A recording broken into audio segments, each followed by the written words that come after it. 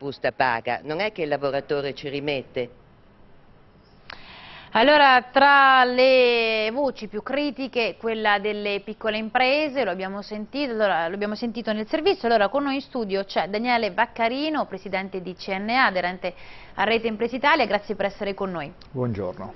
Le chiedo innanzitutto di farci capire che cosa rappresentano questi soldi del TFR per le piccole imprese. Beh, premesso che alla mia associazione, alla CNA, ma anche a Rete Impresa Italia, eh, non piace apparire al partito del signor no. Cioè, quindi noi diciamo discutiamone ad una condizione che non sia un ulteriore costo per le nostre aziende.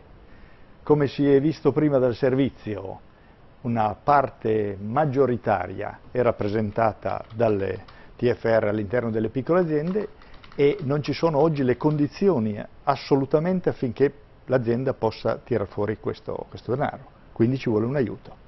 Ecco, vogliamo eh, elencare magari per punti quali, quali, sono proprio le perplessità che avete rispetto a questa operazione prospettata? Ma la prima perplessità è che eh, le nostre aziende in genere non sono riuscite, o se sono riuscite sono riuscite nel passato, non sicuramente in questi sei anni di crisi gravissima non sono riusciti a mettere da parte i soldi del TFR, quindi di fatto rappresenta una liquidità per l'azienda. Quindi il TFR non è un costo aggiuntivo, è una liquidità mancante, qualora non ci fosse. E oggi il sistema bancario, che già rifiuta tutti i finanziamenti alle piccole imprese, sicuramente non è in grado di sopperire a questo. Ma aggiungo, qualora anche lo fosse, lo applica, applicherebbe degli interessi. E chi li paga? Quali possono essere allora delle, delle, proposte alternative a questa per far ripartire i consumi, la domanda interna?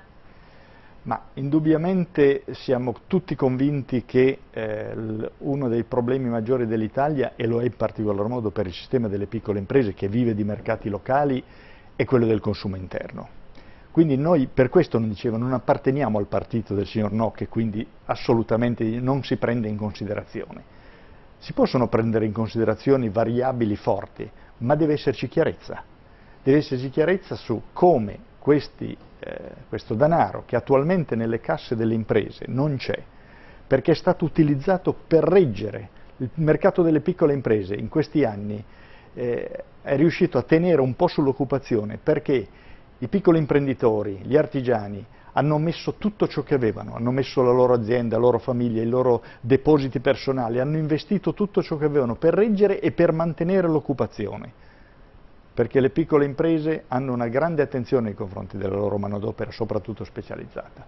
Quindi oggi non ci sono proprio le condizioni materiali affinché questo denaro possa uscire. Allora, grazie a Daniele Vaccarino di Rete Impresa Italia. Grazie. Grazie per essere intervenuto e noi invece